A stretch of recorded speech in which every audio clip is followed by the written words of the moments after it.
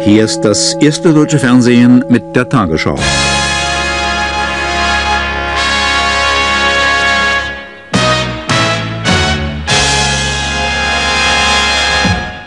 Guten Abend, meine Damen und Herren. Nach den bislang brutalsten ausländerfeindlichen Krawallen vergangene Nacht in Rostock sind jetzt Landesregierung und Polizeiführung massiv unter Druck geraten. Zugleich schoben sich Politiker von Regierung und Opposition in Schwerin und in Bonn wechselseitig die Verantwortung für die Eskalation der Gewalt zu. Im Mittelpunkt der Kritik steht der Einsatz der Polizei, unter deren Augen Rechtsextremisten das zentrale Asylbewerberheim in Brand setzen konnten.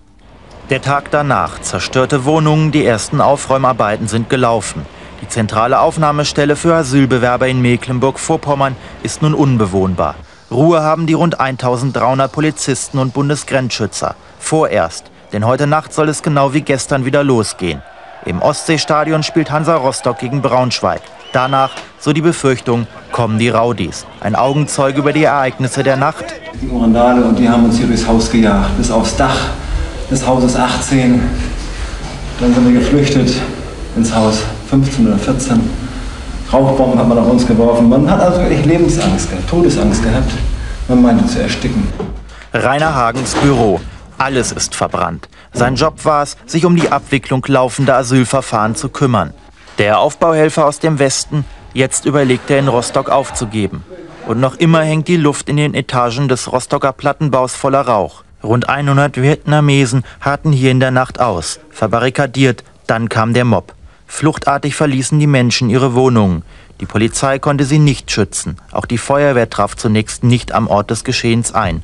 Anschuldigungen des Ausländerbeauftragten der Hansestadt Rostock.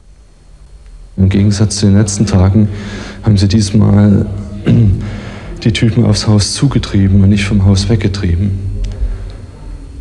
Und dann hat sich die Polizei völlig zurückgezogen. Ich möchte wissen, wer angeordnet hat, dass die Polizei zurückgeht. Mit den Ereignissen der letzten Tage in Rostock befasst sich der Landtag in Schwerin am Freitag auf einer Sondersitzung. Dabei bahnt sich auch eine Regierungskrise an, nachdem sich der Koalitionspartner FDP der Kritik an Innenminister Kupfer sowie der Polizei anschloss und personelle Konsequenzen forderte. Ministerpräsident Seite, CDU, stellte sich hinter den unter Beschuss geratenen Innenminister. Zum politischen Streit Thomas Schnell. Spannungsvolle Erwartungen auf der wöchentlichen Landespressekonferenz in Schwerin. Wichtigste Frage, wie wird sich Mecklenburg-Vorpommerns Innenminister zu den Chaos-Einsätzen seiner Polizei in Rostock äußern? Das Ergebnis. Die Polizeibeamten und viele von ihnen waren da heute Nacht und gestern Nacht selbst vor Ort. Äh, die stehen dort und verteidigen den Rechtsstaat. Und ich erkenne aus ihren Fragestellungen nur die Zielrichtungen, Fehler und Ansatzpunkte zu finden, zu sagen, die Polizei hat und der Innenminister hat und der Polizeidirektor hat. Worte der Erklärung hatte man erwartet, von dem, der für die Ordnung im Lande eigentlich verantwortlich ist. Doch Lothar Kupfers Antworten machten unzufrieden. Viele Fragen blieben offen. So zum Beispiel die, warum der Innenminister gestern erst gegen 1 Uhr nachts im Lagezentrum der Polizei Rostock eintraf, trotz Straßenkämpfe und Brandanschläge. Schwere Vorwürfe erhob heute auch SPD-Oppositionsführer Harald Ringsdorf gegen den Chef der Rostocker Polizei, Siegfried Cordus. Verteidigung. Cordus hat also nicht geschlafen. Cordus hat ein Hemd gewechselt. Ich habe die Zeiten in etwa genannt. Ich habe die auch nicht aufgeschrieben.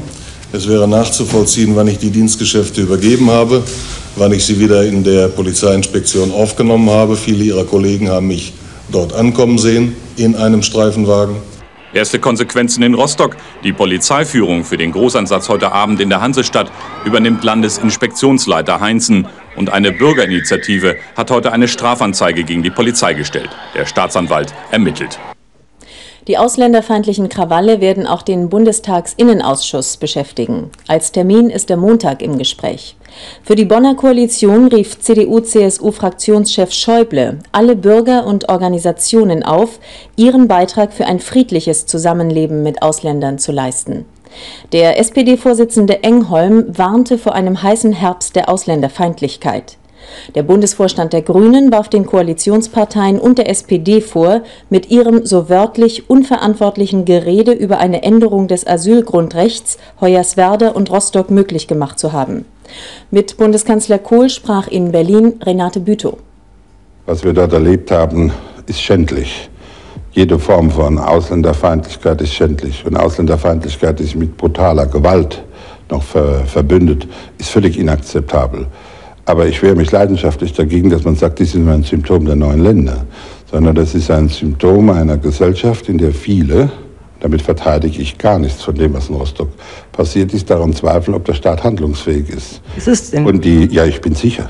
Glauben Sie denn auch, dass die, die demokratischen Parteien im Deutschen Bundestag, die Fraktionen, die Zeichen der Zeit jetzt endlich gemeinsam erkennen und wir die notwendigen Entscheidungen treffen im Asylrecht, auch mit der Verfassungsänderung, werden wir nicht alle Probleme lösen, aber wir können ein gutes Stück vorankommen. Was in Rostock besonders bedenklich ist, ist, dass viele Menschen dort dabei standen und diese Schandtaten mit angesehen haben und wie wir ja hören und wissen, sogar mit Applaus begleitet haben.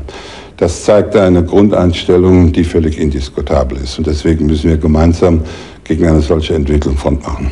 Glauben Sie denn, dass die Landespolitiker die Situation vor Ort in Rostock im Griff haben und hatten? Ich bin ganz sicher nach den ersten Informationen, die ich habe, und ich maß mir nicht an, ein Urteil äh, vor Ort abzugeben, dass hier Fehler vorgekommen sind. Das muss untersucht werden und ich finde, das muss man auch ganz offen miteinander besprechen. Die Situation in einer Stadt wie Rostock und in einer Polizeiverwaltung wie in Mecklenburg-Vorpommern ist natürlich mitten in der Umbruchssituation der dortigen Polizei besonders schwierig. Aber wenn ich mich erinnere, was wir in der alten Bundesrepublik, also in Westdeutschland, in Pannen erlebt haben, bin ich nicht bereit, jetzt das dort abzuschieben. Mehr zu den Krawallen in Rostock bringt der ARD Brennpunkt direkt im Anschluss an diese Sendung.